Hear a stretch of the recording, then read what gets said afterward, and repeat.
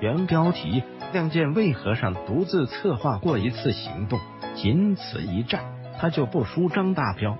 亮剑魏和尚独自策划过一次行动，仅此一战，他就不输张大彪。众所周知，在《亮剑》这部剧中，魏和尚是李云龙身边的一名警卫员。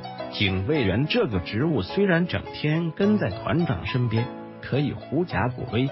装大尾巴狼，让外人感觉很风光，但其实就是大头兵一个。除了给团长当保镖外，还需要充当勤务兵的角色，说不定晚上还要给李云龙倒洗脚水。从工作内容上看，其实魏和尚还不如独立团里的一个普通士兵。魏和尚早年在少林寺当过和尚，练就了一身的本事。若论功夫，在独立团中几乎无人能敌。可能有人会说，魏和尚是一个头脑简单、四肢发达之人，空有一身的拳脚功夫。其实，在独立团中，也就只能给李云龙干干警卫员，再加上容易冲动等毛病，他根本就不适合当官。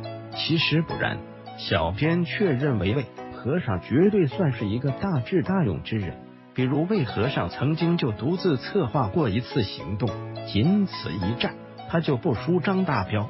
魏和尚原本是中央军二十七师的一名中士班长，在忻口战役时，其所在部队被日军打垮，而魏和尚也因为受伤被俘。忻口战役是抗战初期，中国军队在正面战场上组织的一次大型会战。战役具体的时间是在一九三七年的十月，也就是说，魏和尚是在一九三七年十月被日军俘虏的。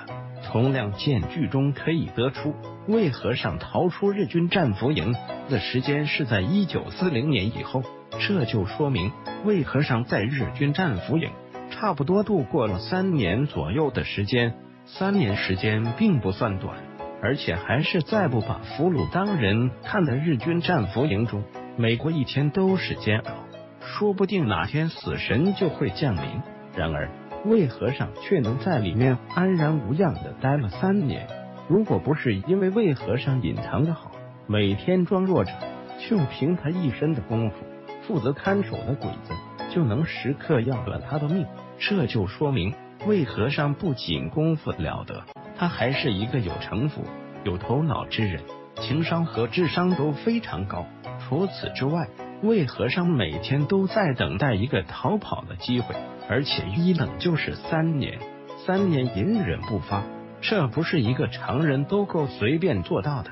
终于在三年之后的某一天，这个机会来了。日军秘密组建了一支特工队，这伙鬼子平时喜欢把战俘当做训练工具。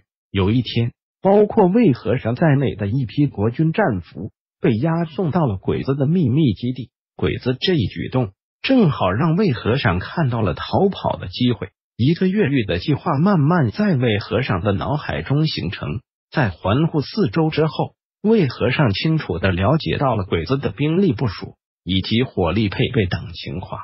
到了比武环节，魏和尚并没有急于出手。而是耐心观察了第一批俘虏和鬼子交手的过程，在了解鬼子的实力之后，魏和尚才最终决定出手，并且一出手就是杀招。在干掉鬼子军官之后，抢了他的配枪，然后趁乱逃出了战俘营。以此完美的越狱行动，从策划到执行一气呵成，丝毫不拖泥带水。由此可见，魏和尚绝对不是一个头脑简单。